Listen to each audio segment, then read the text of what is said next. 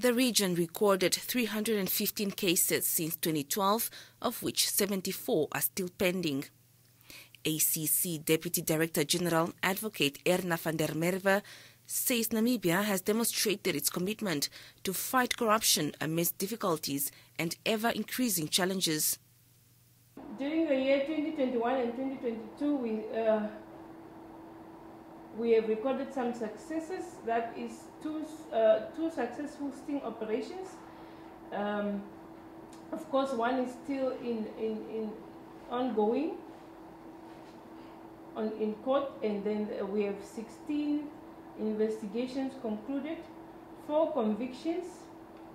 Uh, that is a case of the Pakistani national. I'm sure you saw about three weeks ago. He was reported for actually it, it, this case derived from a rape case where the Pakistani national then ended up bribing the prosecutor for for them to I don't know ACC, through its action plan for 2021 to 2025, will focus on public education and enhancing partnership with media houses in the fight against corruption.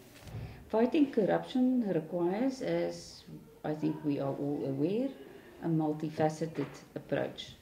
Combating corruption does not entail investigation only, but education, awareness raising on conduct that constitutes corruption as well as the measures to be implemented to prevent corruption, as these are equally as important.